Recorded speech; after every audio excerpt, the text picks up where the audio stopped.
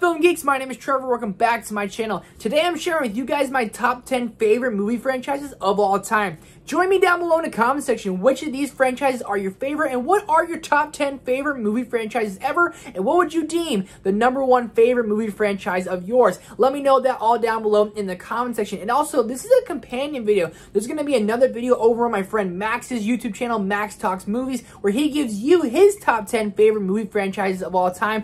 Go over there, subscribe to him, comment that Film Geek sent you, and go check out his list because Max has a lot of awesome content over there. With that said, let's get started, not with my top 10, but a couple honorable mentions. And starting off with my honorable mentions, these might get me a little bit of trouble. We have Indiana Jones, James Bond, and the Bourne franchise. I really do enjoy all those franchises. They just didn't make my top 10, but they were oh so close. With that said, let's get started. So at number 10 is going to be The Hunger Games. I actually rewatched these movies recently and I absolutely fell in love with them all over again. As they go on, it seems like when you get to Mockingjay and Mockingjay Part 2, those seem to be the weaker links of the film, but Catching Fire easily makes this franchise one of my favorites. Catching Fire is one of my favorite sequels of all time, and the original Hunger Games movie is so convincing and so compelling, and I remember watching the first Hunger Games movie all the time in theaters, and I remember rewatching Catching Fire all throughout high school. The Mockingjay movies aren't as strong, but those two movies really make this one of my favorite franchises of all time. These characters, this world, everything they did with it is something so unique and we've never seen before that I absolutely fell in love with it. And I'm Team Finnick Odair, okay? Everyone's like, Team Peter, Team Gale. Team Finnick Odair for the win, baby.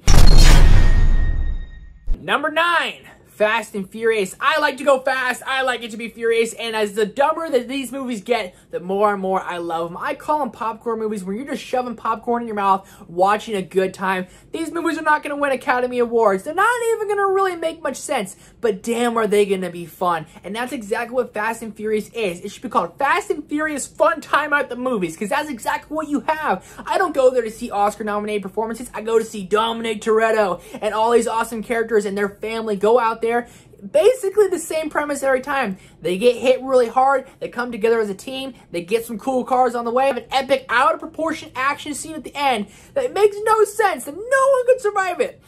But they still make a lot of money, and I still freaking love them.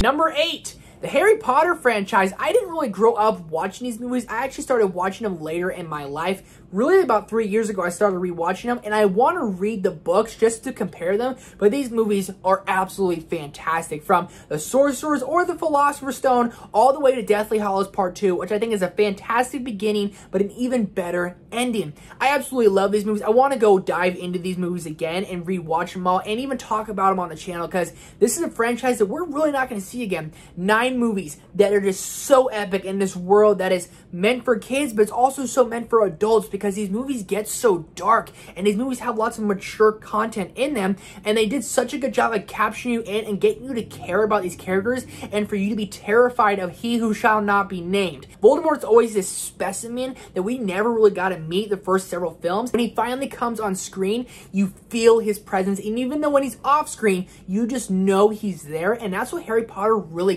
captured their villain didn't have to be on screen for you to be scared. When I watched these as a kid, every time I mentioned Voldemort or Voldemort came on screen, I remember being terrified. And that big ass snake, no thank you, man. Number seven is going to be the Pirates of the Caribbean movies. I absolutely love these movies, and the first three make it one of my favorite trilogies of all time. The later movies, not so much. We're not even going to talk about them, but The Curse of the Black Pearl, Dead Man's Chest, and At World's End are three of probably my top 50 favorite movies of all time. I love these adventures with all these pirates, and Jack Sparrow is one of my favorite protagonists of all time. You also have great villains in there like Davy Jones and Barbossa, who ends up being a good guy throughout the movies. It's all such a creative and amazing world, but such likable characters, and it's a really fun movie you can just watch with your family. I watched the first three of these movies at least one time time of year. As I said, the other movies we don't really talk about so much, but these first three movies are easily one of my favorite trilogies of all time, and it easily makes it one of my favorite franchises of all time.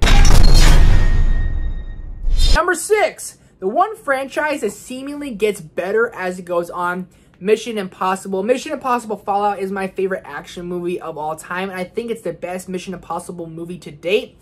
And these movies get better and better and epicer and epicer, which isn't even a real word, but my goodness. And they age like fine wine. And that's what's so great about this franchise, because a lot of times you see them go on a little bit too long kind of like Fast and Furious is doing, but Mission Impossible just gets better. And they, especially with Mission Impossible Fallout, their last installment, set up all the other more movies we're going to get, and it made sense to continue the franchise for how successful Fallout was, but it also made you love the entire franchise as a whole. And Ethan Hunt is a fantastic hero you can get behind, and the score in these movies is great, the characters are even better, and overall, the epic scope of these films is what makes it what it is today, and I absolutely love it. Breaking us into the top five is going to be the DCEU. I've been a defender of the DCEU for quite some time, but with movies like Zack Snyder's Justice League finally coming out and Birds of Prey and Shazam, the DCEU has truly found its footing. And before, it kind of seemed like a mess with Suicide Squad and Justice League, Joss Whedon's Justice League, and all these different movies. They're like, where is this really going? Didn't seem like it have a real direction, but it feels like the DCEU finally has its head on straight and it's going forward smoothly. I am so excited for all the new new DCEU projects, but these are some of the most classic characters of all time, from Superman to Wonder Woman to Batman. Batman's one of my favorite superheroes of all time, and I absolutely love the Batfleck, but to see all these characters brought together, and especially in Zack Snyder's Justice League, brought together in a right way, that just makes the DCEU that much better, and I cannot wait for all the future DCEU content. This is the one franchise that started off really rocky that I think is going to skyrocket to be almost as popular as MCU, if not more popular, because it has these iconic characters that everyone knows and everyone loves. The DCEU is finding its footing, and it's really starting to make its way to be one of those top tier franchises. At number four, you guys can hate me for it the X-Men movies. Man, I love them unashamedly. And X-Men Origins is a huge guilty pleasure of mine. I absolutely love that movie. But Days of Future Past is one of my favorite superhero movies of all time, and the X-Men movies are honestly kind of criminally underrated, especially because they had some movies that are a little bit lackluster. Everyone kind of deemed the whole franchise as bad. If you go to the prequel trilogy, one of my favorite trilogies of all time, you have First Class, Days of Future Past, and Apocalypse, which I'm not even the biggest fan of Apocalypse, but First Class and Days of Future Past, but then you go ahead and throw Logan and Deadpool and Deadpool 2 in the mix. It's so diverse, and these are some of my favorite superheroes of of all times, and even like the New Mutants, which isn't great, but still has some enjoyment level in there. I cannot wait to see the X-Men characters get brought into the MCU, kind of give them a new revival and a fresh start. I absolutely love this franchise. I will defend it till the day I die. And X-Men Origins, don't care what you say, it's a good movie.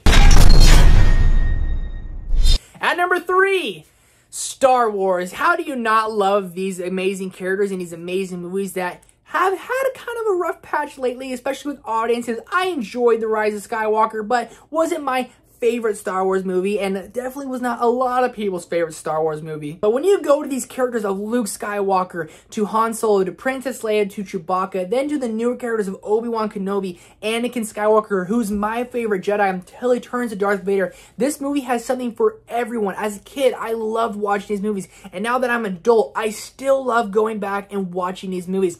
From The Empire Strikes Back to The Phantom Menace, all the way to The Rise of Skywalker, there's something in here for everyone. And not everyone's gonna love all the movies. But then you go to the Star Wars TV shows, which isn't part of the movie franchise, but just how the franchise branched out to be able to do these type of TV shows, It kept the popularity alive, and then eventually they'll bring the movies back around. What Star Wars has done is something that very few other franchises will ever be able to accomplish. Star Wars is absolutely fantastic. It was something I hold near and dear to my heart there's just two franchises I like a little bit more.